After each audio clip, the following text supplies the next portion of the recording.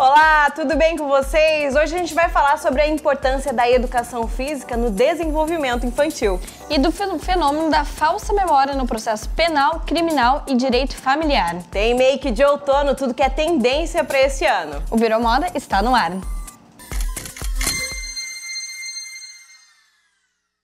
com saudade de vocês, Vitória. Cheguei, voltei. Coisa boa, tava com muita saudade de ti. Fiquei aqui sozinho nesse estúdio maravilhoso. Mas hoje graças a Deus, fazendo companhia de novo. Entrei ao vivo de lá de Não Me Toque, né? Você viu, trazendo informações ao vivo aqui pra galera. Foi legal, não foi? Gostou da festa também? Gostei e adorei o teu novo amigo, companheiro, é. robô.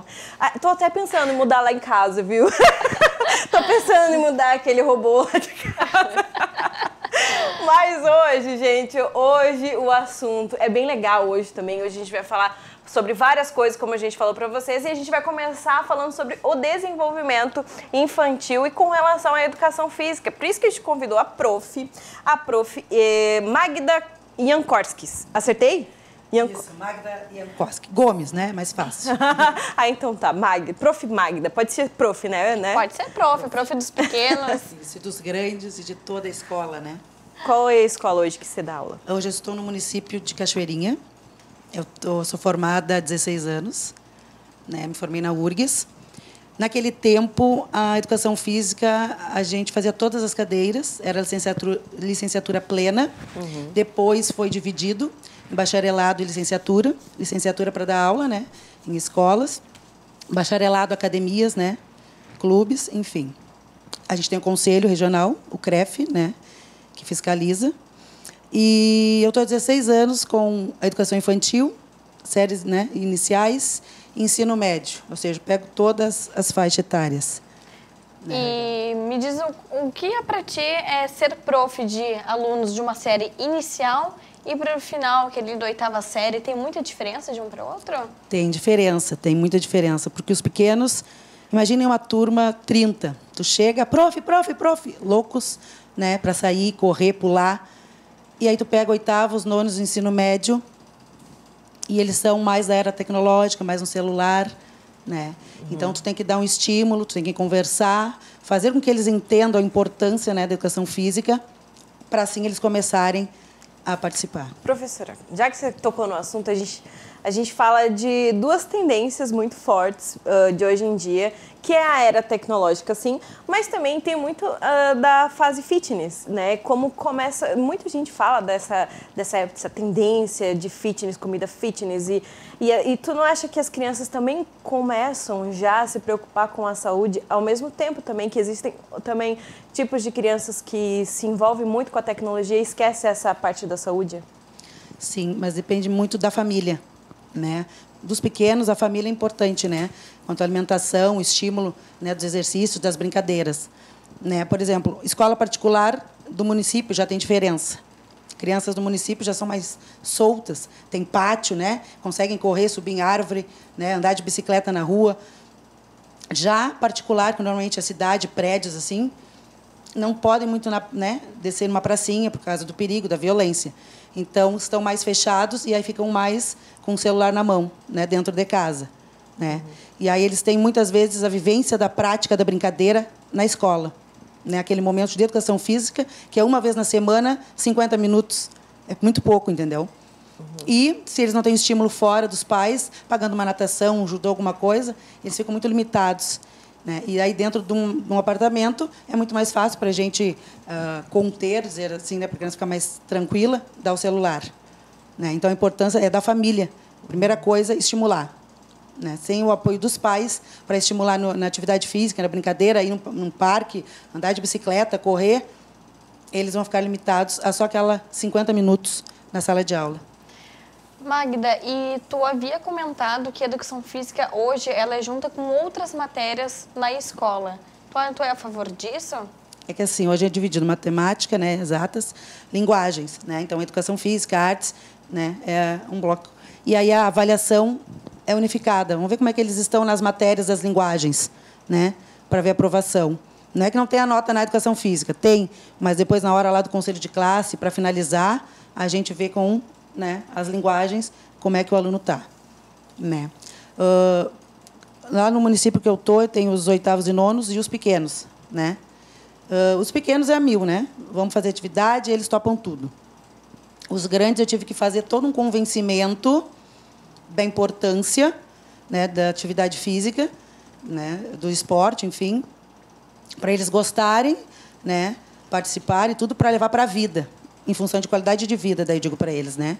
Não é questão de ser magro, gordo, não, é qualidade de vida, né? Porque eu tive alunos né, em escolas outras hum, jovens, magros, assim, com problema de saúde, né, normalmente descobriram com diabetes.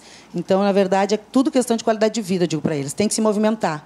Né? Ah, eu não gosto de pedalar, não gosto de nada. Então caminha, leva o cachorro a passear, dá uma volta na quadra, eu digo para eles, três vezes na semana pelo menos. Já está se movimentando. Né? Não fica só no, nos jogos eletrônicos, que eles ficam muitas vezes, ou no celular. Né?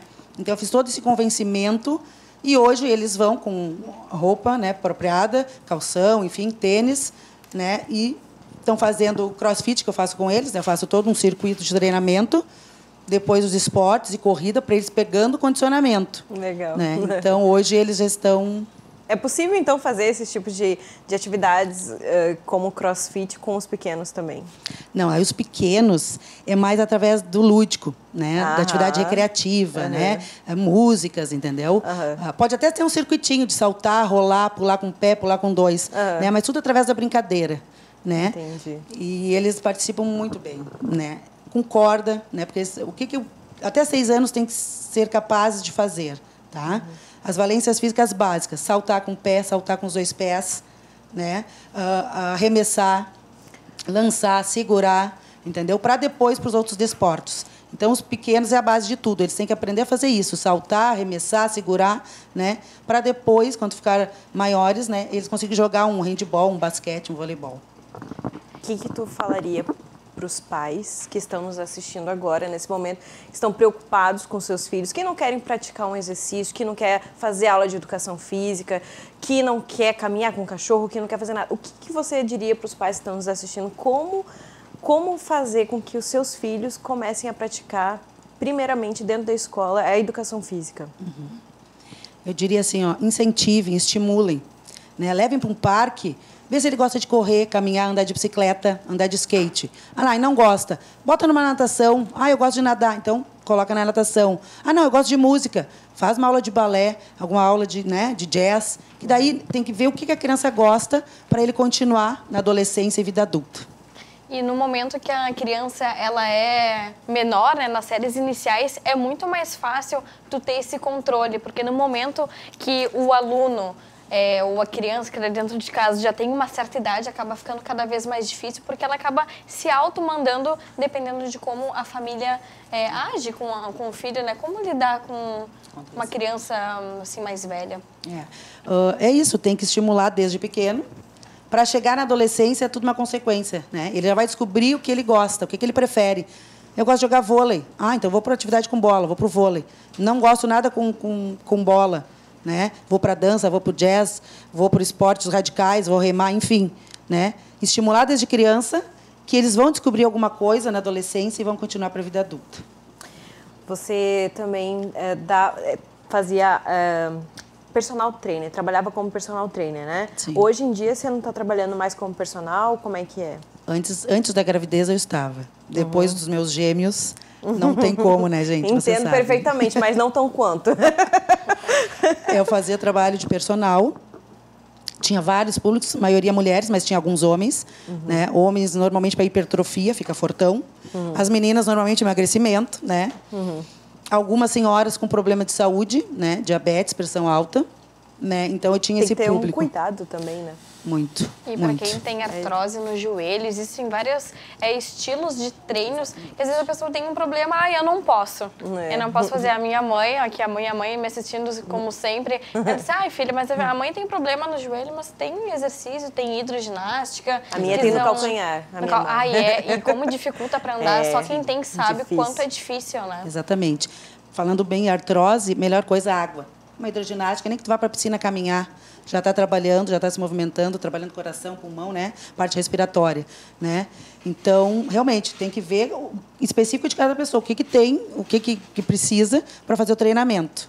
né? Aí tem que fazer uma anamnese, por exemplo, quem tem pressão alta, toma medicação, tem que anotar para saber. Porque no início da atividade física a pressão sobe, né? E quando não é medicado tem algum problema. Se é medicado, depois estabiliza com o exercício. Então, pra, só para a gente encerrar aqui a nossa conversa, gostaria que você falasse ah, essa importância, então, da educação física para o desenvolvimento da criança. Por que, que para você, como professora, é importante? Porque o exercício, a gente é uma máquina, comparando, né? Então, a gente tem que se movimentar até ficar velhinho. Se a gente para uhum. que nem uma máquina, a gente fica enferrujando, né? Então, a gente tem que se movimentar sempre, desde pequenininho até terceira, a melhor idade. Muito bom. Tem rede social que as pessoas podem te acompanhar? Qualquer coisa, se alguém precisar de alguma orientação, pode ligar pela, pelo meu WhatsApp. Uhum. 981 558814. Obrigada pela entrevista hoje aqui no Virou Moda. Eu que agradeço. Obrigada, Magda.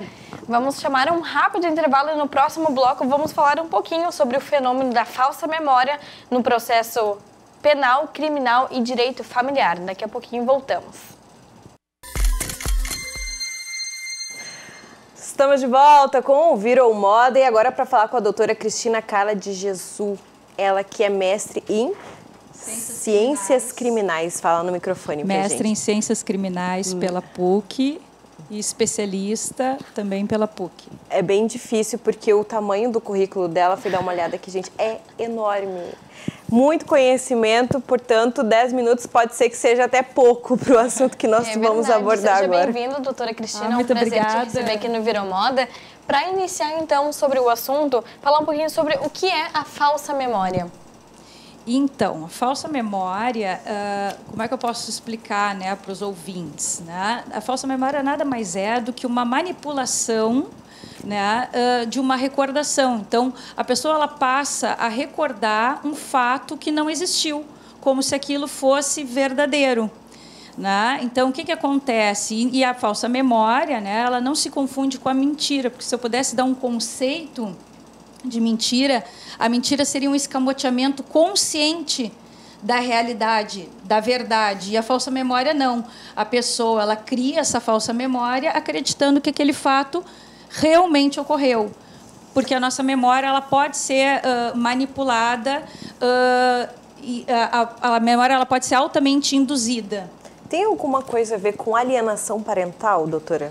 Então, assim, ó, o tema falsa memória, né, uh, como a gente né, tem, ele é muito novo para o direito, né, ele é muito novo para o direito no aspecto processual e também em relação ao direito de família no que tange a alienação parental. Uhum. Né? O que, que acontece? Na alienação parental, uma das formas de alienação parental, isso no ramo da família, né? uma das formas mais graves de alienação parental, quando um genitor ele degrine a imagem do outro, geralmente nessas disputas de guarda, né? Uh, o genitor alienador, né? Uh, normalmente aquele que tem a guarda da criança, uh, ele faz uma falsa acusação de abuso sexual. E é aí que entra a falsa memória, porque a criança, uh, dependendo da idade, ela não consegue discernir aquilo que é, que é o verdadeiro do falso, e ela passa a contar e reiterar uma história que não ocorreu. E sem saber, principalmente até os 6, 7 anos de idade, a consequência que isso pode gerar para o, o, outro que está sendo alienado, né? E o depoimento de uma criança dentro de um processo criminal desses é muito sério, né? Daí chega ali a mãe ou o pai é, acaba é, dando assim, falso, falsas memórias e a criança acaba não tendo esse discernimento, como tu mesmo falaste. É, o grande problema hoje, né, e é isso que me despertou a estudar o tema da falsa memória, justamente por quê? Porque a lembrança, como eu já havia falado, ela é, pode ser manipulada. E quem é que está mais suscetível à, à, alteração da memória? Normalmente são as crianças. E aí, o que, que se vê num processo criminal hoje, quando há uma, uma hipótese de abuso sexual, né? principalmente naqueles atos que não deixam vestígios, um toque, uma passada de mão, que não se tem uma outra prova né? nesse processo, não se tem uma outra prova a não ser o depoimento da vítima. E aí o que, que se faz? Isso que eu chamo atenção né? no livro e nas aulas e tudo mais, que os, os atores judiciais, juízes, promotores, advogados, delegados, eles têm que estar ciente, consciente desse problema, dessa problemática que não é nova para a psicologia nem para a psiquiatria, Sim. mas é nova para o direito, de que as pessoas podem ser induzidas pelas situações mais cotidianas, quando conversam com alguém, quando assistem um programa de televisão, de, de, televisão perdão, sobre um fato que remete a uma lembrança, quando elas são principalmente interrogadas de maneira evocativa e indutiva, elas podem criar uma falsa memória. E o que, que se tem num processo criminal? Às vezes não se tem uma prova técnica, uma perícia, porque não tem um vestígio. Um toque não deixa vestígio, uma passada de mão nas partes íntimas não deixa vestígio. E o que, que vai se ter? Só o depoimento da criança. Então, o réu ele pode ser condenado com, e na maioria das vezes é, com base no depoimento da vítima. Era isso. Da pequena vítima. Como que vocês fazem, então, para distinguir que aquilo ali está sendo, que aquela criança, ela está sendo induzida a falar uma coisa que não é verdade? Como que consegue ah, é, isso? Então, esse é o grande problema, é ter uma contraprova da falsa memória. O ideal é que se teria uma perícia né, uma entrevista com essa criança, normalmente é feita. Né? Hoje a gente tem a lei do depoimento especial, uh, que tenta preservar a memória dessa criança dos efeitos nefastos do tempo né, e de, de eventual indução, inclusive evitar a revitimização dessa criança. Né? Mas o que, que se tem? É difícil trabalhar com a falsa memória no processo criminal. Então, é um problema complexo que não tem uma solução simples. Uhum. Então, num processo criminal, o que, que, se buscaria? O ideal seria buscar o contexto que essa criança vive, né? como é que ela foi, se ela é sexualizada uh, ou erotizada precocemente, como que ela foi. Né? O que, que aconteceu? Porque às vezes acontece de um sujeito ser apontado como autor do crime de um suposto crime e na verdade ela teve, como já aconteceu nos processos criminais, né, ela teve uma experiência sexual na escola e aquilo remeteu uma dúvida e aí se gerou um processo para uma falsa memória. E é muito comum também, e infelizmente a realidade processual, é que se use a, a falsa acusação de abuso sexual nas disputas de guarda ou para afastar um eventual agressor em caso de violência doméstica, um eventual agressor do lar. Né? Às vezes o filho, a filha vê que a mãe está né, tá sofrendo violência doméstica, agressão física do pai, e ela alega essa questão né, do abuso sexual para afastar. E aí fica muito difícil ter uma contraprova. Foi isso que te despertou essa curiosidade, de repente, de começar a escrever o livro? Vou mostrar? Vou mostrar, Sim, é verdade. A doutora Cristina, que é uma pioneira de escrever sobre o assunto dentro da área de direito, né, doutora Cristina? É, sim, o tema chamou tema. muito a atenção, porque eu atuo há mais de 15 anos na área criminal e agora estou migrando também para a área da família. Né? Uh, me chamou muito a atenção porque esse tema ele não era tratado no direito. Né? E foi no programa de pós-graduação de Ciências Criminais da PUC, que é um programa interdisciplinar, numa aula de introdução à psiquiatria, que me chamou a atenção. Nossa, nosso processo ele se vale eminentemente da prova testemunhal. O próximo, próprio processo de recordação, ele já não é fidedigno à realidade. E aí me chamou a atenção o quanto as pessoas podem ser sugestionadas a relatar fatos que não ocorreram. E essa prova vai para o processo. E dentro né? da psicologia é muito falado, agora dentro do direito realmente é algo novo, né? É uma inovação, é uma inovação do direito. Esse, esse livro tu lançou ele quando? Eu lancei esse livro em 2008 e ele já está indo para a terceira edição para a terceira edição. É importante o trabalho da psicologia quando há algum. No, no, andamento de um processo como esse, por exemplo, num exemplo né, como a gente está dando, é, é necessária a, um, psic, um psicanálise, uma, uma psicóloga, alguém que acompanhe, além, é claro, por exemplo, você como advogada que já fez a leitura de que aquilo ali pode, pode ser uma criança que está sofrendo com falsas memórias o trabalho da psicologia também é importante? Sim, o trabalho do, dos laudos psiquiátricos, as avaliações psicológicas são de extrema importância para o processo, porque eles vão, eles vão dar um subsídio para o juiz poder julgar não somente com a palavra da vítima. Entendi. Então, os laudos, que são as perícias bem elaboradas, elas vão dar um subsídio, vão, inclusive, dependendo do critério da pesquisa, né, do critério da, da perícia, perdão, da perícia, ali vai estar estabelecido se aquela criança pode sofrer alguma indução, né? se aquele relato é fidedigno, é verídico ou não é verídico. Então, a perícia ela vai dar todo esse suporte técnico para o magistrado que não tem o conhecimento de outra área, né? De outro Perfeito. ramo do saber. Então, num caso como esse, então, por exemplo, de, de uma criança que que está sofrendo com essas falsas memórias, o pai ou a mãe que está sentindo, está se sentindo lesado com aquilo, né? Um, alguém fez aquilo com a criança, precisa recorrer a quem primeiro? Como que a pessoa tem que agir? Como que ela deve agir? Bom, claro, a falsa memória seria uma, uma situação patológica. Não estou dizendo que os, que os abusos não, não ocorram, né? Então, Sim. no primeiro momento, essa criança ela vai ter que ser, vai ter que ser feito um encaminhamento para a polícia, né? Uhum. Se há uma situação de abuso, né? Efetiva situação de abuso. E se não há, aí sim fazer uma perícia técnica para constatar que a criança foi induzida a falar algo que não ocorreu. É, muito é uma situação delicado, bem complexa. É bem complexo. É bem complexo e bem delicado. Mas é um problema que está aí, né? É um problema que está aí. Eu tenho, muito, eu tenho muita certeza hoje que tem muitos estudantes de direito nos assistindo, muitas pessoas que de repente passam por isso, e, ou então que conhece alguém que tenha passado por esse tipo de situação e que realmente ficou interessado. Hoje eu gostaria que de repente você passasse o telefone de contato ou Uh, aonde encontra o teu livro, você, enfim? Bom, o meu livro ele está disponível na Livraria do Advogado, uhum. Livraria do Advogado aqui de Porto Alegre, pode ser comprado, adquirido pelo site, e eu passo também o meu contato pelo Instagram, né, que é Cristina de Jesus. De Jesus. De Jesus, isso. Então, tá, tá certo. Olha, gente, gostaram do assunto bem diferente, algo que realmente é novo para a área de direito, como a doutora disse aqui, né? Direito é, criminal, direito civil, de família, né? Que é algo que a gente pensa que não é comum, mas infelizmente é comum, né, doutora? Gente, é novo é dentro da área do direito, é. mas isso é algo que acontece há muito tempo, na verdade, é. né? E que agora está é, tá passando dessa parte de psicologia para dentro do direito, porque tudo se interliga. É. Então é tudo uma união. A união dos dois fatos acaba tendo o bom é, resultado diante vários crimes e processos penais.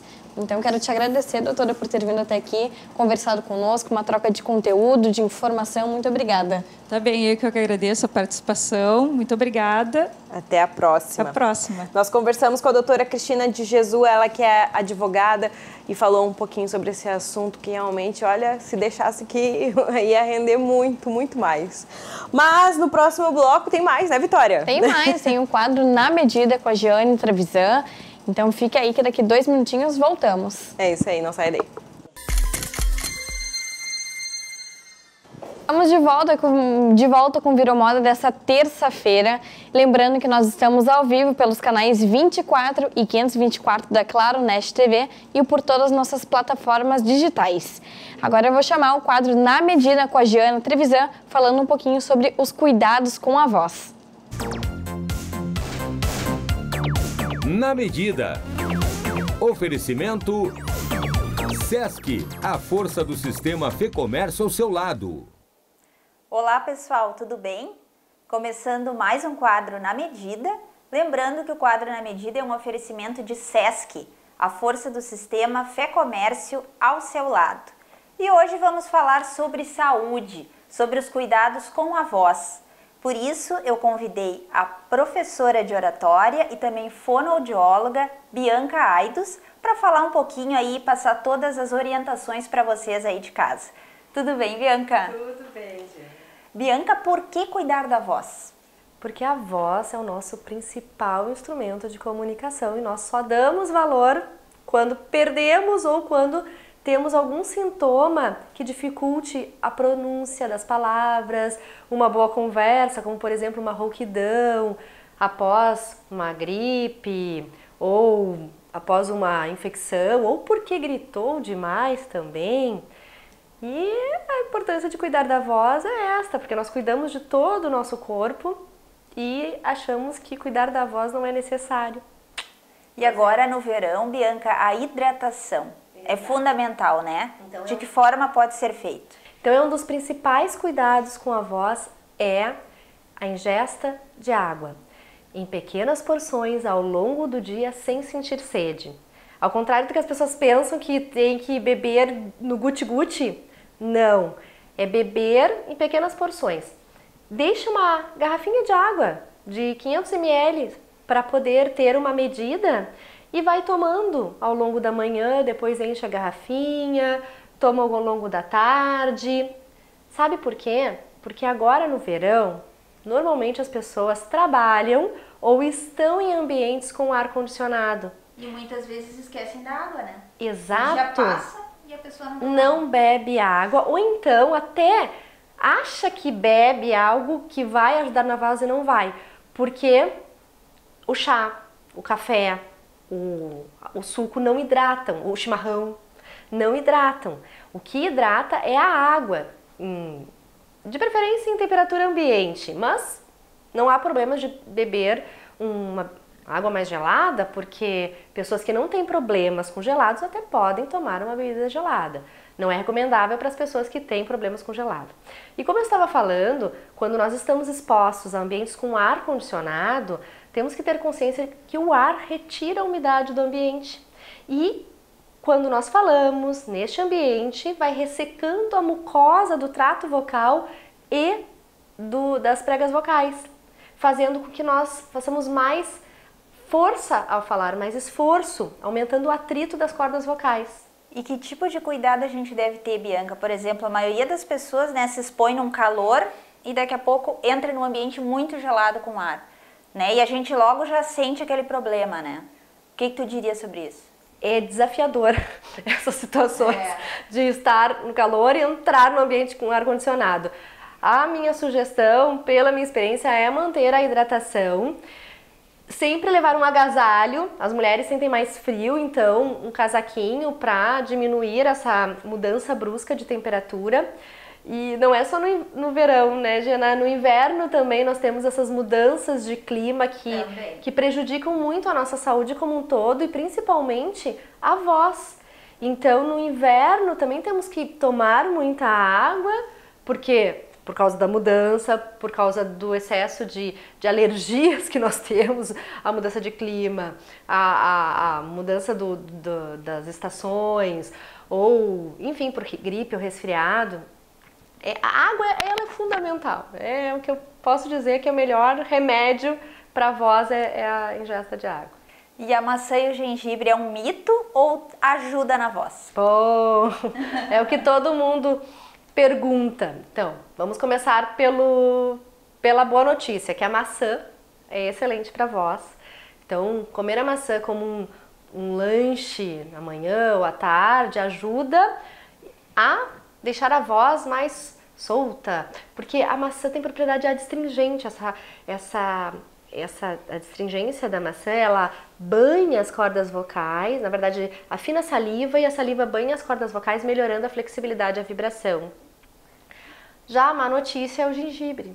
Ao contrário do que muitas pessoas acham, que o gengibre é bom para voz, Uma mas ele aí, né, pro pessoal que tá nos é assistindo, é mito, né? é mito, porque o gengibre mascara um sintoma de esforço, rouquidão, voz fraca. E aí, naquele momento que o gengibre está agindo, a voz melhora. A pessoa naquele momento se acha sente bem, melhorar. acha que vai melhorar, fala, fala, fala, fala, depois que passa o efeito, a voz está do mesmo jeito, ou pior, porque o indivíduo fez um abuso vocal no momento que estava se sentindo bem. Então, o ideal é evitar o gengibre. E falando em gengibre, tu falaste também da questão das pastilhas, sprays, né? Isso na verdade não faz bem, né? Então, como nós estávamos conversando nos bastidores, pastilha, spray somente indicado pelo médico. Fora isto, a automedicação não é bacana, porque o efeito do, da pastilha e do spray é de anestésico. É a mesma coisa que o gengibre. Alivia, passou o efeito, a voz está do mesmo jeito ou pior, porque a pessoa fez um abuso naquele momento de alívio. E existe algum alimento indispensável para a voz ou não? Somente a maçã? Maçã e água. E água. Pode ter alimentos até que façam mal, então? Sim, eu sugiro que quando as pessoas vão, vão usar a voz profissionalmente, que evitem comer alimentos pesados, gordurosos, chocolate. Por quê? Porque aumenta a viscosidade da saliva. Além disso, a articulação, a pronúncia das palavras também fica mais pesada, porque a saliva fica grossa, fica espessa. E tem também a probabilidade de da pessoa desenvolver o refluxo, que é a subida do suco gástrico que está no estômago, que vai pelo esôfago, e banha as cordas vocais e que pode provocar rouquidão, pigarro, que é aquela sensação de, de limpar a garganta. Também tem a, queixa de que as pessoas têm a queixa quando tem o, o refluxo, que é a, a sensação de bolo na garganta. Portanto, a alimentação é, é, é algo que nós temos que cuidar quando usamos a voz profissionalmente. E para finalizar nossa entrevista, Bianca, gostaria que tu deixasse algumas técnicas aí, né, para o pessoal para melhorar o desempenho da voz, tá? Ou tu acredita que não é bom fazer nada em casa e procurar a orientação de um profissional? O que eu, o que eu posso dizer é que tem, tem algumas atitudes que nós podemos ter para melhorar a pronúncia e a projeção de voz, evitando o esforço. Como, por exemplo, mexer bem os lábios para falar, saborear bem as palavras é legal também aprender a respiração correta, que é a respiração costo-diafragmática abdominal. E existem técnicas que depende de cada caso como a pessoa vai fazer. Por isso, eu evito ensinar essas técnicas por, porque a pessoa pode fazer com esforço e aí não é legal. Mas existem muitas técnicas bacanas para melhorar a voz e limpar a voz. Muito obrigada, Bianca, pelas suas informações, tá? Espero que tenha servido aí para o pessoal as dicas. Legal, foi um prazer. E o Na Medida fica por aqui. Voltamos em breve dentro do Virou Moda com mais novidades. Até lá! Na Medida. Oferecimento Sesc, a força do sistema Fê Comércio ao seu lado. E esse foi o quadro Na Medida dessa terça-feira. Vou, vou chamar um rápido intervalo para falar sobre dicas de maquiagem de outono e inverno. Estamos de volta com o Virou Moda e agora para falar sobre tendências de maquiagem para outono e também inverno, né? Porque uma coisa liga a outra. Afinal de contas, a maquiagem é um truque final daquela, de todo aquele look básico, né, que a gente faz e daí a make precisa compor esse look. É por isso que a gente chamou uma especialista no assunto a Letícia, que trabalha lá no Tauber Salon, a Letícia Gomes, que é maquiadora, tudo bem? Seja Olá, muito bem-vinda. tudo bom? Boa tarde. A Lei que não veio sozinha, né? Você trouxe não, uma eu trouxe a Joana, minha modelo, e também minha colega maquiadora. Joana, seja muito bem-vinda. Olha só, dá um foco ali na maquiagem, no olhar, no olho da Joana, que ficou lindíssimo. Já Dá uma piscadinha pronta, assim. maravilhosa, né, Marina? Olha, olha só. Linda. Iluminou tudo aqui. Pode apagar as luzes que a Joana já ilumina tudo. e, essa é uma tendência forte para o outono, né, Lê? Exatamente. A pele no outono agora ela vem com bastante tendência de iluminação. Né? A gente tem aí no outono e inverno uma tendência mais glow, uma pele natural, mas com bastante iluminador, né? Trazendo aí tanto na hidratação da pele quanto na base, a gente mistura junto iluminador e os iluminadores em pó que a gente está acostumados também, né? Também fazem parte da, da iluminação, né? Ela vem bem glow mesmo nesse outono e inverno. E essa maquiagem da Joana já é uma de outono e inverno, então? Isso, já é uma maquiagem de outono e inverno. Eu utilizei tons de marrons quentes, né, que estão bem em alta para esse outono. Né, marrons quentes, até tá com uma cor também que é bem tendência agora para o outono e inverno. Uh, tons assim uh, de marrons quentes, frios, né? O azul marinho também vem bastante, verde militar, mar, marsalas também estão bem alta nesse, nessa próxima estação. A gente está vendo que ela está muito bem maquiada, está com a pele bem iluminada. Mas existem pessoas que erram na hora de iluminar também a pele, né, Letícia? Muito, e como? Quais são os erros mais comuns? Os erros mais comuns são iluminar muito na parte central do rosto, na zona T, né, onde a gente já produz naturalmente oleosidade.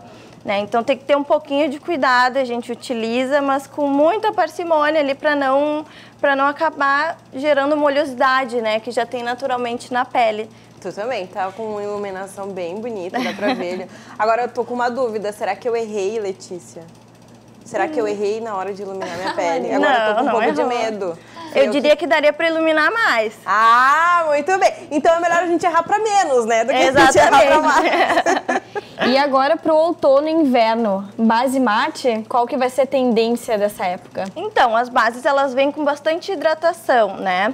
E aí eu ressalvo da gente também ter um cuidado diário com a nossa pele, né? Que não adianta somente a maquiagem, né? E a gente tem que ter um cuidado ali com hidratante, se alimentar muito bem, beber água, né? Que isso tudo também aparece na maquiagem, né? Tem muita influência o quanto tu se hidrata, né? Porque só a maquiagem não vai fazer uh, um resultado tão bom quanto tu fizer todos os dias um pouquinho, né?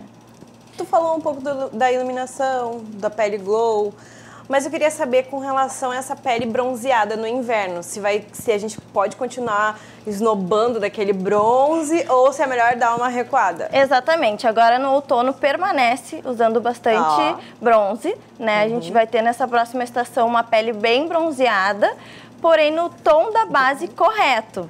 Né? Não uhum. esquecendo que a gente tem que estar tá do mesmo tom do nosso corpo, porém utilizando desse bronzeado nos contornos, né? Que podem vir com tudo e estão em alta cada vez mais. E essa é uma dúvida minha também. É? Fiquei que o verão, dois Pegou meses. Muito sol. No verão, RDC passa ali é, o protetor solar no rosto Isso. e acaba sempre pegando sol, né, no corpo. A minha base, eu tenho que mudar a tonalidade do tom da minha base pro rosto para se adequar com o restante do tom da tonalidade da minha pele? Com certeza. A gente sempre observa a tonalidade do corpo para atingir o tom da base, né? Então eu recomendo a gente ter sempre, o pessoal de casa ter dois tons de base, né? E fazendo essa transição, misturando as duas, né? Um mais clarinho e um mais escuro para o inverno. Eu compro então um mais escuro então. Para para é, outono? No caso. Isso, no caso, como eu tô bronzeada, eu compro, eu tenho a minha, que é mais clarinha, uhum. e compro um tom acima para poder misturar Isso, para poder misturar e atingir o mesmo tom do teu corpo. Uhum. Letícia, é, a gente sabe que o neon foi uma forte tendência desse verão e eu quero saber se o neon, mesmo sendo inverno, se pode continuar em alto ou não, nada de neon esse inverno. Exatamente. Agora nesse outono e inverno, a grande novidade é que estão vindo cores mais vibrantes, né? Diferente dos outros anos, hoje a gente vai ter bastante influência de vermelhos, uh, azul, né, roxo na maquiagem de outono e inverno também.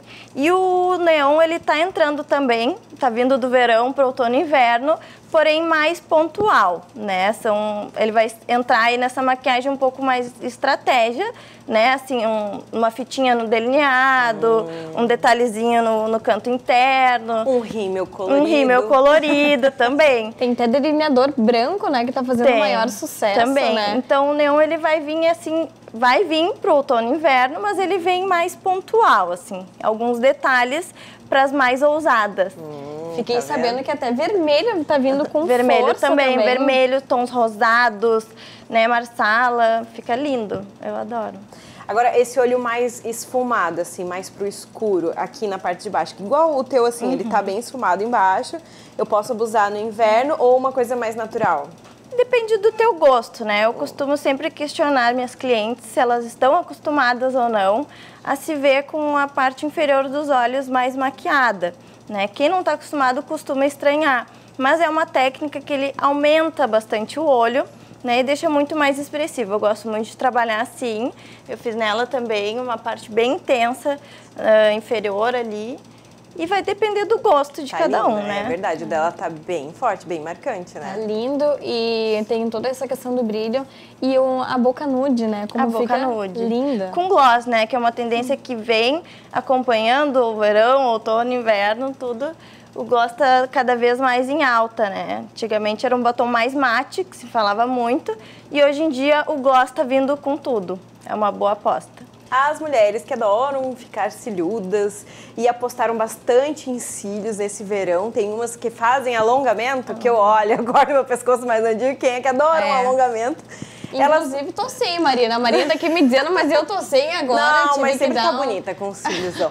e aí eu quero saber se no inverno pode continuar apostando nos cílios fortes, uns cílios marcantes, ou uma coisa mais, mais clean, assim, ó.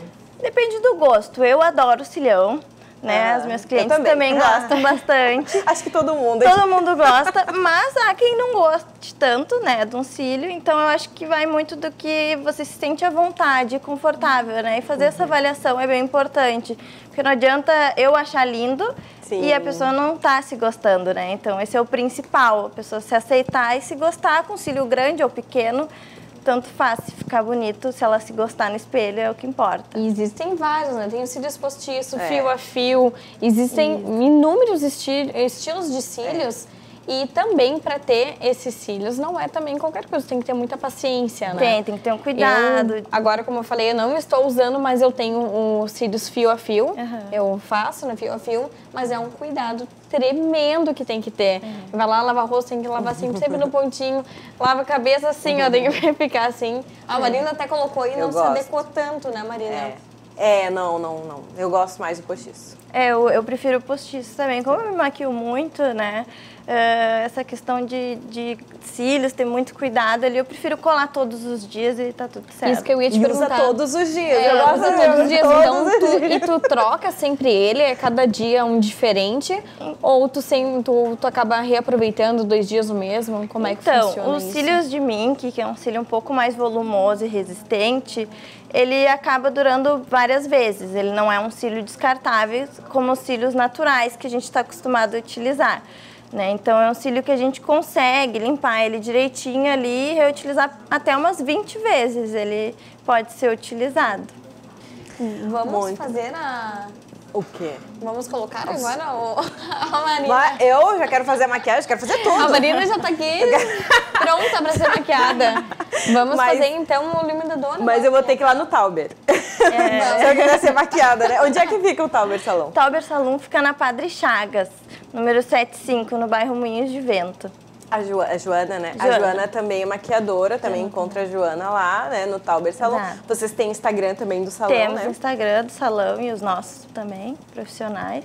Tauber Salão. Tauber Só Salon. colocar assim já acha. Isso. Uhum. E acha todos os profissionais que Todos estão os lá. profissionais. Perfeito. Falam também de cabelo. Outro dia a gente fala de cabelo. O que, que é tendência pra cabelo? Sim. Mas eu já vou dizer que eu adorei o teu. Ah, obrigada. a gente inventa moda, né? Eu acho que ficou, olha, combinou, tá muito bonito, muito elegante. Ela ainda fez um babyliss, né? Olha. E ficou com o rostinho de menininha mesmo, olha ali, ó. Vai ficar assim pro inverno? Vou. Então ali agora que tu vai fazer na Joana, tu vai colocar o iluminador. Tu vai explicar Ah, pra nós a dica de como Isso, eu vou dar só uma diquinha de como, como aplicar o iluminador, Uhum. né? Que também vai vir bem forte nesse outono e inverno. É, a gente E- já falou dos erros, os erros e agora vamos fazer Exatamente. os acertos, Esse né? é um acerto, Agora realmente um acerto. Vou aqui do ladinho também dela pra poder acompanhar essa... Existe alguma alguma marca que tu se que tu goste mais de iluminador, assim? Então, o iluminador Podemos que eu falar vou... isso, será? Já perguntei. Azar. Iluminador que eu gosto bastante são esses iluminadores em pó, né? Pozinho solto, que eles dão um efeito bem mais molhado na pele e eles, vocês vão ver aqui como eles dão um estourinho. Eu gosto sempre de aplicar uma bruminha hidra- hidratante, né? Que ela vai devolver um viço à pele. Eu vou aplicar Vou nela. sentar aqui Tá mais pertinho, tô com uma saudade da Marina. Ah, eu também. Tá longe aqui de mim. agora tu vai se encher o saco de mim aqui. Que bom, que ótimo. 300 perguntas pelas entrevistadas, né? Não bastava só a da Vitória, tinha que trazer a Marina pra fazer mais umas 500 pra ela. E aplica sempre com um pincelzinho fofinho, pra não deixar esse iluminador marcado. Não tem nenhum específico, então, pra iluminador ou existe Esse um... é, um, esse é um pincel bastante utilizado para iluminador, né? Mas tem muito do que tu te adapta pra, pra utilizar, É, né? que eu já vi aqueles mais achatadinhos, assim, tipo um leque, né? É, ele, é, ele espalha mais. E como aí a gente tem ah, locais estratégicos para aplicar o iluminador, é melhor um que seja menorzinho, a gente vai aplicar ali só onde, uma aula só de Boa pincel. só onde Marina, precisa. é verdade. Só de pincel, sobre o que é cada pincel. Bota na pauta aí, viu? Viu, Tauber Brian? Salon. Tauber Salon. pauta sobre pincéis pra maquiagem. Aí eu tá? gosto de aplicar sempre dando batidinhas, tá? Pra não ficar Ah, leves, marcado. Marina, batidinhas leves. leves. e depois das batidinhas, a gente faz ele arrastar. Que é onde ele abre a cor e fica o glow, né? A Joana já tava com algum iluminador? Já tava com Ah, vários. Olha aí, que lindo. Bonita essa imagem. Já dá um ali, ó. outro up, né, Marina? Ah, o iluminador. Agora vai ter nós no camarim amanhã já tentando fazer. Cheia de iluminador. Mas parece que tem dois tons diferentes aí. É que eu acho que ela já tava Lê. com outro. É Sim, eu, go eu demais. gosto de misturar bastante, particularmente, né? Eu aham. gosto de utilizar tons rosados, dourados, né? Depende do gosto da pessoa também. Parece assim um furta-cor, As né? meninas costumam me perguntar, ai, que iluminador tu usou, Lê? Eu, eu usei uns oito, pelo menos, né? Muito bom. E é isso, né? Daí tu passou aqui, passa aqui nas maçãs pra cima. É, os principais pontos são os nas maçãs, né? E eu gosto bastante de aplicar um pouquinho no arco do cupido. Aqui só pra fazer um, um efeitinho de lábio Modelo lindo, com maior. esse né? iluminador maravilhoso. Dá aquela na pontinha do nariz, não. Eu já coloquei, né? Como é na zona T central do rosto, a gente tem que ter cuidado pra não virar oleosidade. Então, entendi. como eu já coloquei, não vou exagerar, acho que já tá na medida. Certo, é, ele- é mesmo. Joana, você tá arrasando, você tá iluminada. Acho que já é iluminada sem a maquiagem. Agora com, com o iluminador ficou mais ainda. Muito Quero obrigada, agradecer a viu? presença de vocês, foi realmente maravilhoso o nosso bate-papo. Vou me levantar aqui. Vamos a Letícia, levantar, Marina? A Letícia aqui, coitada, só ali de pé e a gente bem folgada sentada, né? Tá, vamos então se despedir do Virou Moda de hoje, dessa terça-feira. É mesmo, Letícia, Joana, muito obrigada pela Eu participação de vocês. Tauber Salão, sempre pela parceria. Muito obrigada. Obrigada a você que está nos assistindo hoje, nos assistiu. Amanhã tem mais, né, Vitória? Amanhã tem mais. Muito obrigada a todos vocês que nos assistiram pela net e por todas as nossas plataformas digitais. Um beijo e até amanhã comigo, a Marina. Tchau, tchau.